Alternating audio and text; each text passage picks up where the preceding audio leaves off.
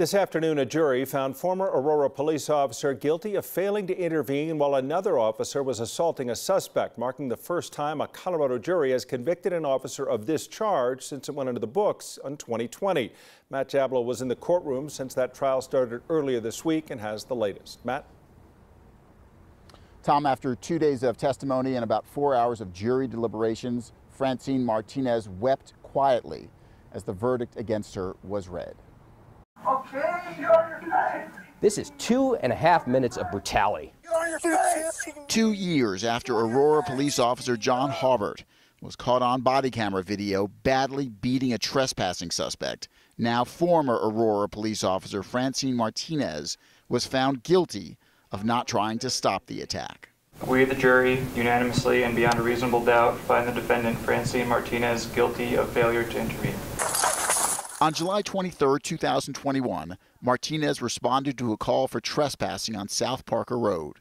Within minutes, another officer, John Haubert, repeatedly pistol whipped and choked the suspect, Kyle Vinson, while Vinson cried out for help. At one point, Haubert also pointed a gun at Vinson's head.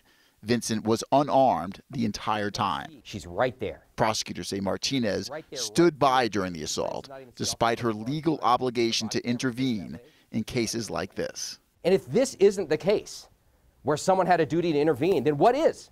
Is there such a case? If that's not it, then why are we here?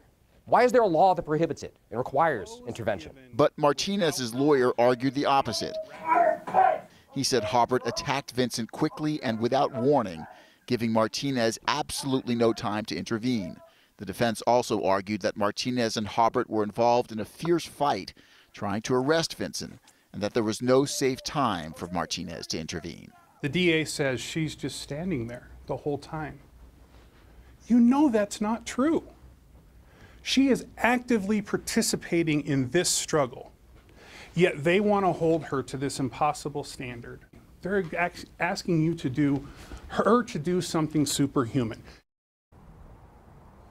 Clearly, the jury disagreed, finding Martinez guilty of failing to intervene. Her sentencing was scheduled for June 2nd. She faces up to 18 months in jail and could be permanently barred from becoming a peace officer in Colorado. Tom? This the first case. We will see uh, if and when there are more to come. Thank you, Matt.